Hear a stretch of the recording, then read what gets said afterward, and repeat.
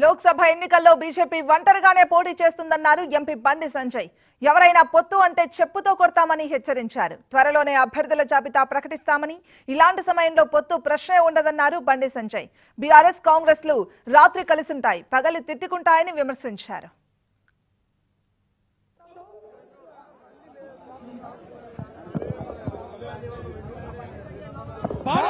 యాత్ర తెలంగాణ రాష్ట్ర వ్యాప్తంగా చాలా బ్రహ్మాండంగా కొనసాగుతున్నది నరేంద్ర మోడీ గారిని మూడోసారి ప్రధానమంత్రి చేయాలని చెప్పి ప్రజల్లో కూడా ఆలోచన రావడం ప్రజలు ఈ బస్ యాత్రకు బ్రహ్మాండ స్వాగతం పలకడం ఇవన్నీ చూస్తుంటే తెలంగాణ రాష్ట్రంలో ఎట్టి బస్సులో పదిహేడు పదిహేడు సీట్లు భారతీయ జనతా పార్టీ గెలుచుకోబోతున్నది. హైదరాబాద్తో సహా. క్షేత్రస్థాయిలో ప్రజలు అలా నిర్ణయించుకున్నారు. భారతీయ జనతా పార్టీ ఓటేయాలి.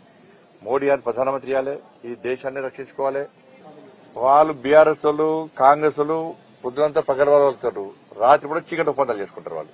గతంలో కలిసి పోటీ చేసింది ఎవరు? మేము ఎప్పుడు పోటీ చేసినాం. బీఆర్ఎస్ పార్టీతోని కలిసి పోటీ చేసింది కాంగ్రెస్ బీఆర్ఎస్ కాంగ్రెస్ ప్రభుత్వ హయాంలోనే కేసీఆర్ గారు కేంద్ర మంత్రి.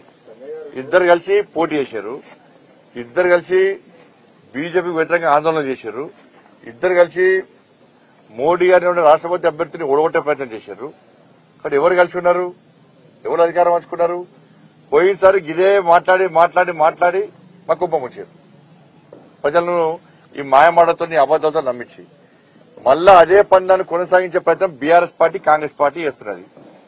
కానీ ప్రజలు నమ్మరన్న విషయాన్ని వాళ్ళు గుర్తిస్తలేరు. అది వాళ్ళ మూర్ఖత్వం అది. అది వాళ్ళ మూర్ఖత్వం.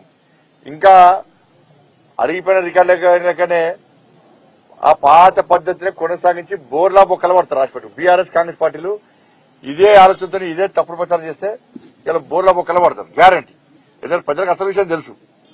అసెంబ్లీ ఎన్నికల ముందు కలిసి పోటీ చేస్తామన్నారు పోటీ చేస్తామా కలిసి? కాంగ్రెస్ పార్టీ సమాధానం చెప్పాలి. కలిసి పోటీ చేసినామా? మళ్ళా ఇప్పుడు సేమ్ అదే ప్రచారం. మేము ఐదారు రోజుల పాట వీలైనన్ని సీట్లు ప్రకటించబోతున్నాం అభ్యర్థులు లేదని చెప్పి అన్నారు. ఇక పొత్తు ఏడుంటది? నిన్న మా కిషన్ గారు చెప్పారు పొత్తు అంటే రెండు చెంపలు వాయించమన్నాడు.